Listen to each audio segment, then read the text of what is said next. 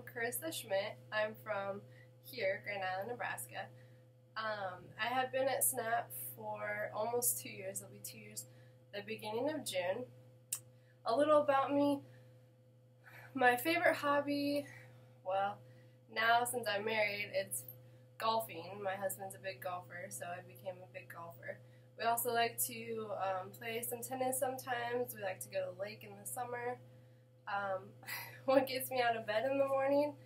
During the week, it's all my clients. I have early morning clients almost every day of the week, which is fine. It gets me up, gets me going, gets me going with the day and everything. And then it allows me to work out early, and I can get that out of the way. Um, my favorite movie would be Sweet Home Alabama.